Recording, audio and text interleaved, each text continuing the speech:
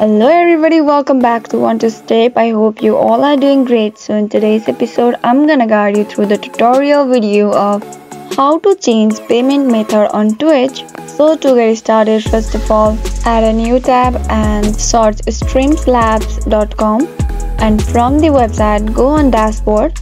From the dashboard, we can change our payment method. So what you gotta do is go and click on settings and now go and click on donation settings and from there you can connect your payment method or you can change your payment method. So all you have to do is connect to it.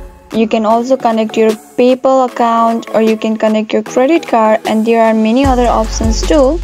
You can first of all connect it and then later change it if you want to. So that is how easily you can change payment method on twitch I hope you guys found the video to be helpful. If yes, please do not forget to subscribe to our channel and also press the notification bell for more updates. I'll see you again in next video. Goodbye till then.